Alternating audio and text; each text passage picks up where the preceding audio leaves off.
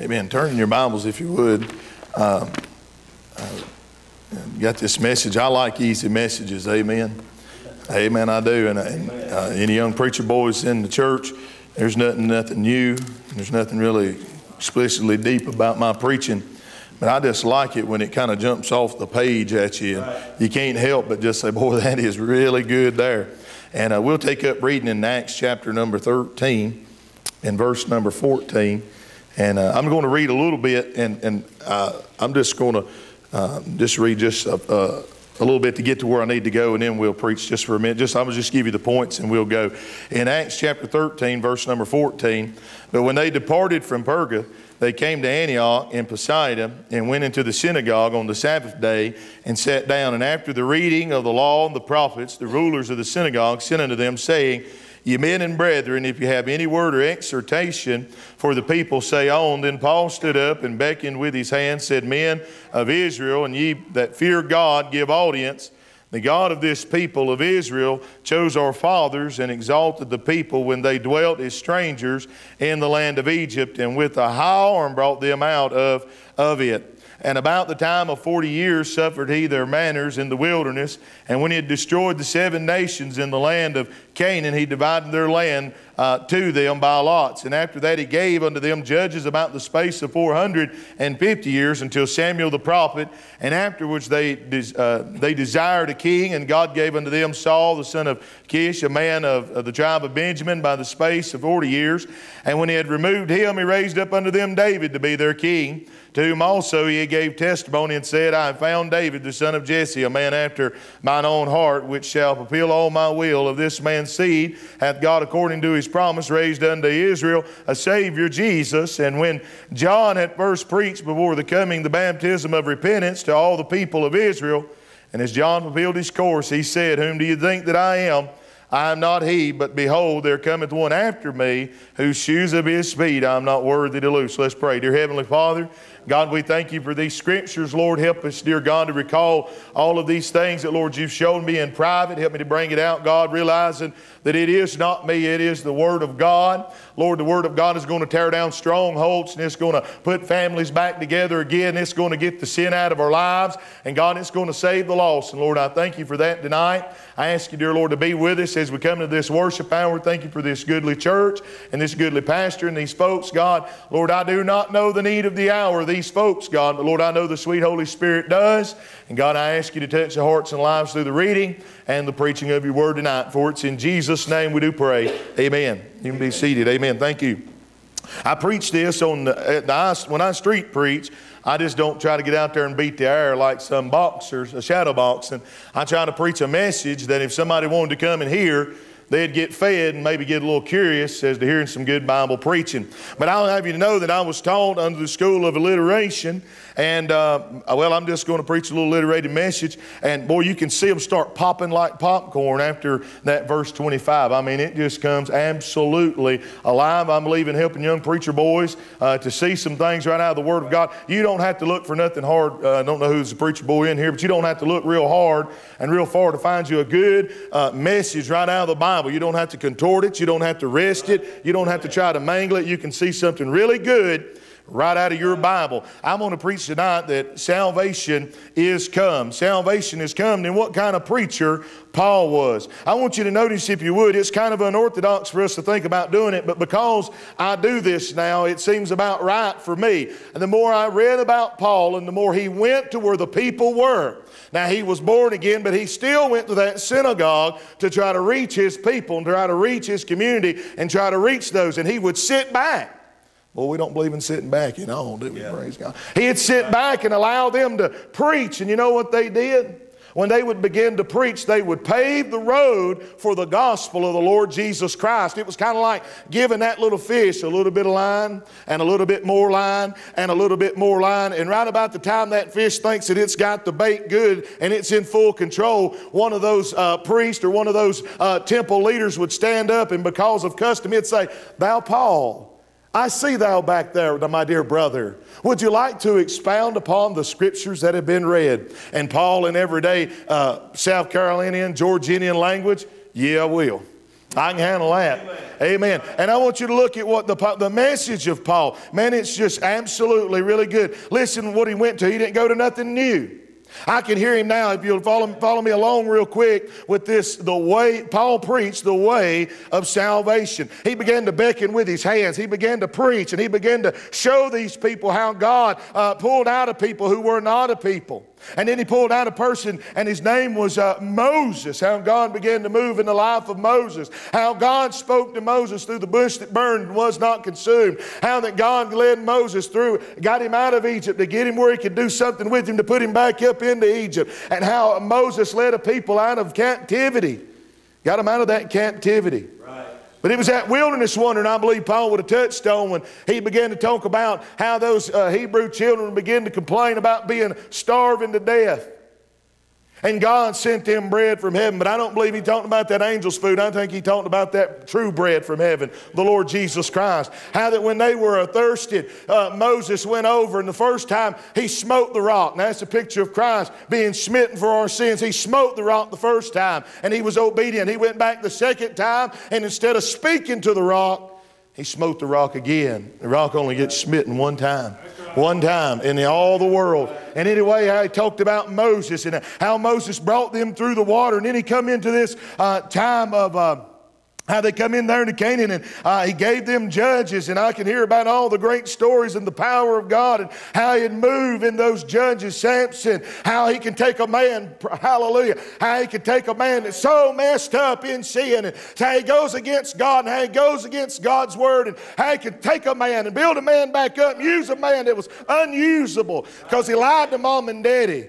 He went to the vineyard he partook of the vineyard, he partook of the vine. And when he walked through it, he was might as well have been drinking it. And he killed that beast over by the vineyard. And he liked that strange woman. Amen. Right. And that was the downfall. He took the promise of God. Was it, was it so much those locks? And I don't believe it was long, sissified hair. I believe it's much like the locks they grow now. Amen. He took him a couple of locks and cut them off. You think it was so much in the hair? Or you think it was in the promise of God that he took right. for granted? I believe it was that promise of God. He, he made that promise of God of none effect. He just thought it was something, something simple. He thought it was in himself, but it was the promise of God to give him that strength. Don't let a razor come upon your head. Abstain from the vine. That promise of God he went against. Well, I can hear those Israelites, man, starting to get messed up about Isaiah over there in 53. There's going to be Isaiah chapter 7, Isaiah chapter 9, all them promises about the Messiah, how they can start hearing that bell toll in their ear, how they walked on those promises. And then he comes on down and if you'll notice, I just seen this, it jumped off the page at me when I was coming through here. Can you notice how God can use a man? Have you seen, did you, I didn't even see that, how God can use a man. Amen. He's using Paul right now. I think he might be drawing a little picture of that. Look at Saul, uh, Saul there, the king Saul. He thought he could do what God, only God's chosen elect could do, the, the, the uh, uh, help me, Lord, uh, the Levites. He wouldn't wait on Samuel. He said, Well, I can do just as good as Samuel. I don't have to wait on Samuel to offer strange offering. I can just offer, I mean, offer an offering. I can just offer strange offering. It's just an it's just the priesthood. It's just, it's just something God said. It really doesn't mean that much. When God took away the kingdom out of that man's hand, when he just stepped into a place that he had no business being in, then we and he still let him be king, praise God. Listen, it comes on down and it gets into the space of David. And we all know David. And boy, it baffles my heart, but it really don't because I, I call myself Peter sometimes, but boy, I can really relate to David. I'm talking about messing up royally and God not throwing you out like he throws out dirty dishwater. I'm glad God just don't throw us out like an old rag. I'm glad God found us as an old rag and God can use us, amen, when he cleans us. Amen. Amen. you think about every, every commandment that that man broke with Bathsheba. I mean, my heavens. And, and he still retained that title. Right. Still retained that title. Abraham had the friend of God. But David was known as a man after God. I cannot understand that, but that shows the love yeah. of God. Amen. Man, the love of God. Yeah. Well, we get on down into David's time and all those. We ain't got time to go into all those prophecies because I just want to give you these boom, boom, boom, boom, boom, how Paul preached. And let you, let you, let the pastor of the good church come in here. But then look, he begins to turn this boat around. Now, if he didn't have them scratching their head and kind of shuffling their feet, he's fixing to. Because look what he says in verse 23 of this man's seed, he connected Christ with the king. Boy, ain't that good. I like that. This man's seed, I want you to look at that. Of this man's seed hath God, according to the promise, risen to Israel a Savior. And he just didn't leave it out there for speculation. He said, and Jesus was his name. Hallelujah. Says when John first preached. Now, that when John first preached is near and dear to my heart because that's my sending verse. Uh, John chapter 1, verse 23. John 1, 2, 3. Ain't that easy? About like y'all's address. That's funny, ain't it? That's my sending verse to go to Montana. I am as a voice of one crying in the wilderness. That's what I feel like. Sometimes I preach to cows. Sometimes I preach to people. I preach to pigeons, to cats, to dogs. I had a man pull up one day and thought he was going to shoot me as a farmer had his hand in his lap. I didn't know if he had a Colt 45 or uh, a cold drink of Pepsi. I just told, I said, God, don't let it hurt. Whichever one is 30 minutes to the doctor to get there. I said, Lord, let him kill me dead. But uh, listen, he began to preach this about Christ. And then I want you to look, and as Paul's turning, I want you to just see that boat, and you can read that later, young man, and get you a good outline. But I want to show you just these quick steps right here, and I'm not going to be long, too long. Paul preached the whosoever kind of gospel. I mean, it's right there in your Bible. I mean, boys start popping off there now. You start seeing that W. Amen. Ain't that alliteration? You start seeing that W pop off the page and attack you real quick now. Listen what it said. It said, Men and brethren, children of the stock of Abraham, and whosoever among you fear God. I'm glad that Paul believed that whosoever would could. I'm glad, I don't believe there's a Calvinist bone in Paul's body. I just don't believe that. I believe Paul thought that if any man, that the Holy Spirit convict any man, any man, woman, boy, or girl, or child, could get saved. Can I say a word right there, Brother Pastor? And I'm not going to mess up and get us in a mess. I mean, can I tell you about this thing about election right quick? If you get right over in your Bible, I ain't never figured this out how those smart Calvinists missed this. You know, so, so, er, I mean, boy, they're educated beyond their learning. Amen. They're ignorant. what they are. The Bible says in John chapter 3, verse 18, the whole world is under con- condemnation. Right. The whole world. Unless you get saved, you're under condemnation of God. Right. The whole world. Jesus died for the whole world. Amen. Jesus died for the whole world, and I thank God He died for me. Amen. I heard that testimony this morning. He did die for me. Then look at that next one there. What did He preach? To, the, to you, the word of this salvation is sent. It's a good day for that little synagogue. They probably didn't realize it right then because I don't know if you know, study your Bible. I just happened to study this a while back. Antioch, Pisidia, those Jews up there, absolutely this ain't Antioch over in Jerusalem. This is Antioch. They absolutely hated Absolutely. Those leaders hated to see Paul come that day. They chased him through Derbe, through Lystra, through every little town over there. He'd get a growing, a growing congregation in there. It'd come them Jews stirring up, going to get the baser sword, them sons of Belial, them liars, those, those ladies, and everybody else that could come down on him. But I'm glad Paul said today is a good day for the word of salvation is coming to you. Now, I'm not going to hit all these, uh, time would just elude us here, but Paul preached unto them the word of salvation. Then, if you look down just a little bit, you're going to notice that not only was it a word, not only was it just the word of salvation. Let me read verse 27. For they that dwell at Jerusalem and their rulers, because they knew him not, nor yet their voices of the prophets, which are read every Sabbath day, they have fulfilled them in condemning him. Even in condemning them, they fulfilled Bible prophecy. He's talking to those Jewish leaders. Then he comes on down there, verse 29. And when they had fulfilled all that was written of him, they took him down from the tree and laid him from the sepulchre. I'm glad that Paul preached about stuff that was written about him. Right. Written about him. It wasn't self-help. It wasn't uh, uh, not, not, just, not just some kind of uh, fixing a through a bunch of 12 steps. He told them how to get fixed once and for all, and it was through the name of Jesus. Amen. Preached what was written about him. As it is written, as it is written, as it is written. The death, burial, and resurrection. Then I like this. Not only, amen, I, boy, I like this part. Not only things written about him. No, no, not only just the things written about him, but also I want you to notice this how they took him down from the tree and laid him in a sepulchre. But God raised him from the dead. He's preaching the gospel to these people. I don't know if you've caught that yet. It's a message inside of a message here. Uh, but verse 31 it says, And he was seen many days of them which came up with him from Galilee to Jerusalem, who are his witnesses unto the people. He preached about them witnesses over in the book of Acts. Some 500, not just one. It was saying wasn't done in a corner. Over in Psalms chapter 22 said this thing wasn't done in a corner. Everybody saw this thing. Not only did it, was the death public, but that resurrection and praise God that ascension was made public. Not just for a group of disciples that would fade off the scene someday, but this thing was made public. People might see and believe that Jew. The Jew seeketh after a sign, they still do. But that Gentile, I'm glad Brother Paul, Paul just preached. Amen. So those Gentiles that were in, there'd be some Gentiles in them services. And it, I, I could preach all night and let you see that, but they're the ones that really accepted it because God said they would by hearing it. All them Jews, they, well, now Jesus is gone, they can't see him. But they still have to get born again by hearing. It's hard, though, for them just to hear They have to have that sign. Isn't that funny, the sign from heaven, the bread, and they miss it? Isn't that amazing? That's absolutely amazing. Well, let's go on here. Uh, let me find out where I'm at here. But, uh, yeah, amen. Now, now verse 2, verse. Uh, 20, let's see. Boy, I got messed up now for sure. It'll be a mess now. We're going to have sheep in the river and sheep in the pasture. Amen. You ever heard that joke? Paul preached, Paul preached the cleanliness of Christ as he is pure. Look at Acts 13, verse 34 and uh, 39. And I'm, I'm going to be done here in just a minute, preacher. Look, it says, as concerning that he had raised him up from the dead, now no more to return to corruption. He said, On this wise, I will give you the sure mercies of David. Wherefore he said into another psalm, uh, Thou shalt not suffer thy Holy One to see corruption. Isn't it funny that he put that in your Bible? I'm going to read just a little bit more. But isn't that funny? He put that in that Bible because that was a virgin tomb that he was placed in. Never yet a man laid. If a man had been laid in that tomb, there would have been some form of evil corruption in that tomb. But because it was a virgin tomb, there was no corruption.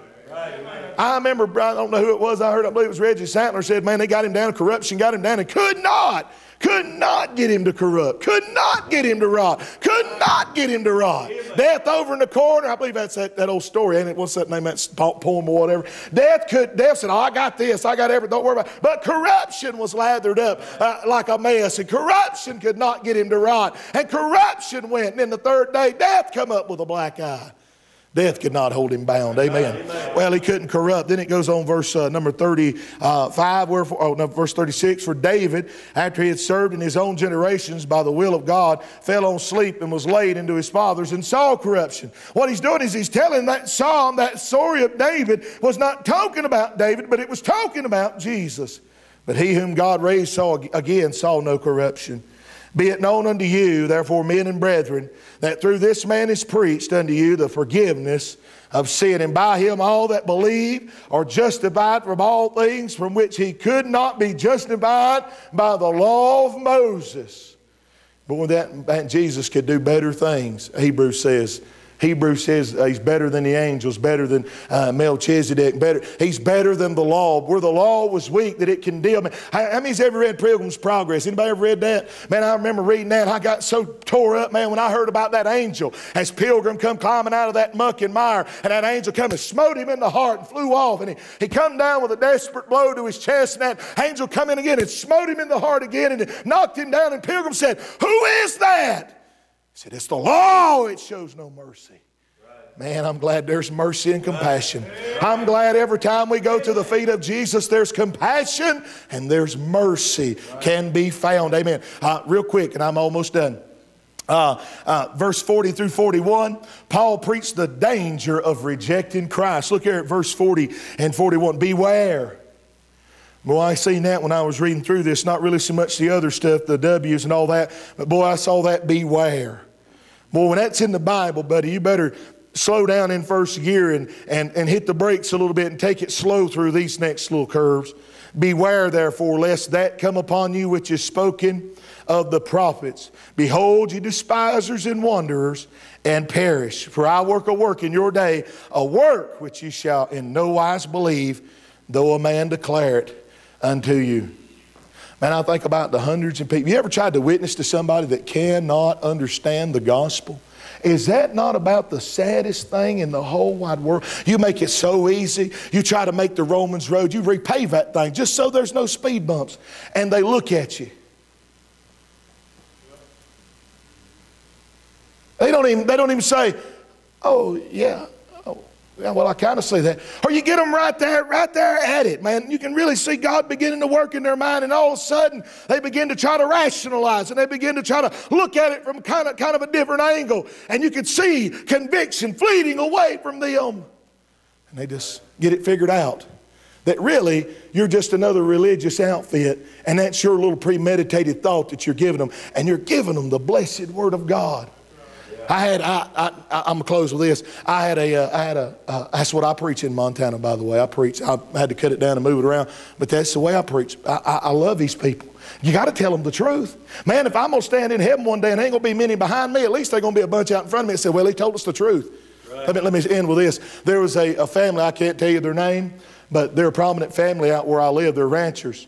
And they, they go to the Lutheran church. They're dyed, I'm talking about dip, dyed and buttered Lutheran. And I was off doing something one day, and they come, the, the, the wife come by my house and heard her, her and her boyfriend. I, you know, when a man and a woman's together, I just always presume, you know, they're husband and wife. So you have to retrain yourself nowadays, don't you? Ain't that pitiful? She come by the house. Her husband had gotten drunk the night before, and he almost, uh, uh, not abused, but almost got rough with the child, leaving angry, mad, drunk. And she called the police. And, you know, she didn't go to the Lutheran preacher. That don't mean nothing to y'all, but boy, I tell you, Amen. it means the world to me. Didn't go to the Lutheran pastor. Didn't go to the church. Didn't go call the diocese to send somebody out from the synod. Right. She come to my house. And as soon as I got in, my wife said, You ain't gonna believe who come by here. I said, Who? She said, uh, uh, such and such and his wife, and they really want to talk to you sometime. I said, I'm coming right now. And I got in my truck and I drove to their house. It's about five o'clock, and I sit down in the living room and I watch that girl. Now they're both lost, and man, I told the gospel.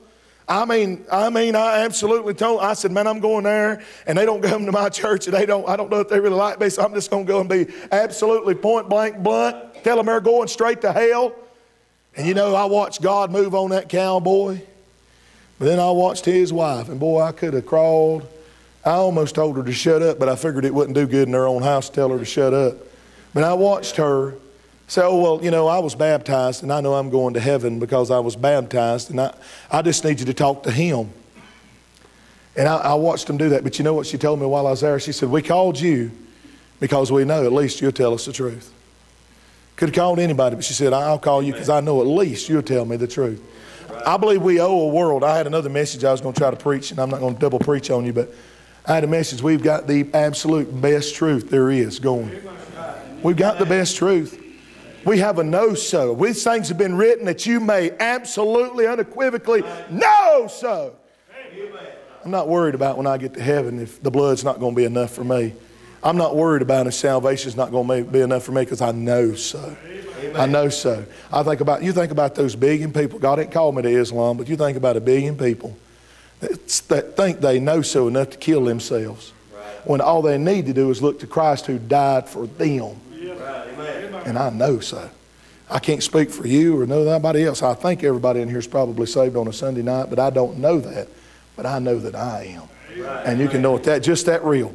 Just, just that real, just out of that book right there, you can know. So, thank you. Thank you. brother. Thank you. You didn't have to do that, but I appreciate that, brother. God bless you.